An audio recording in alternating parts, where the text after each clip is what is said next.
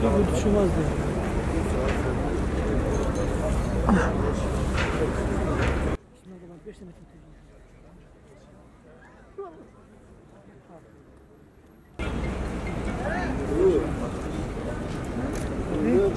Burada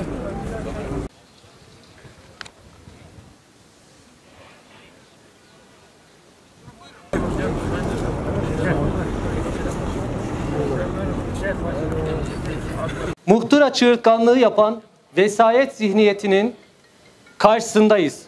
Bizler vatan nöbetimizin başındayız. Hodri meydan.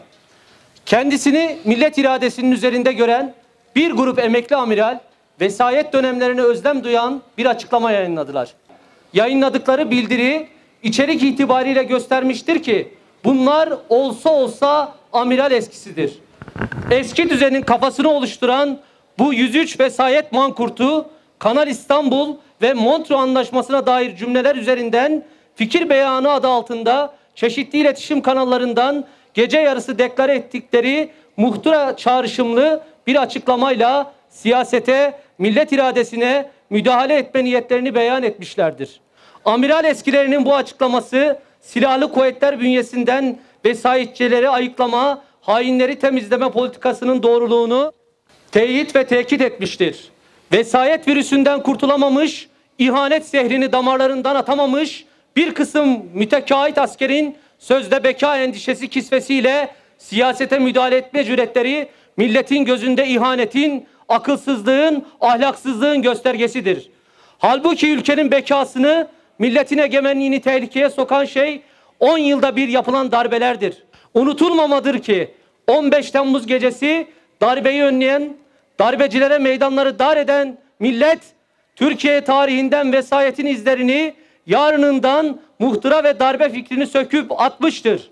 Bütün darbe heveslileri, vesayet sevdalıları bilmelidir ki 250 şehidimizin kanıyla 15 Temmuz gecesi darbecilere karşı yazılan manifesto bu ülke için sadece bir milat değil, kanla imzalanmış bir ahittir.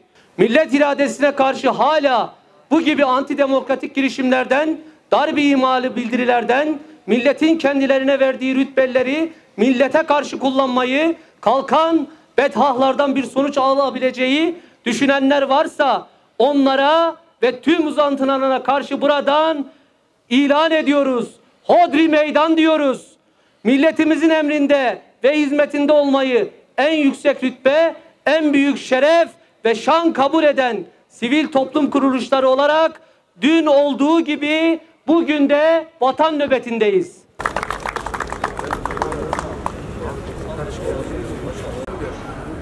Ya oradan alamazsak geçen nüfustan alırız.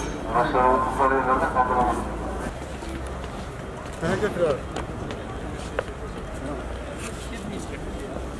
Thank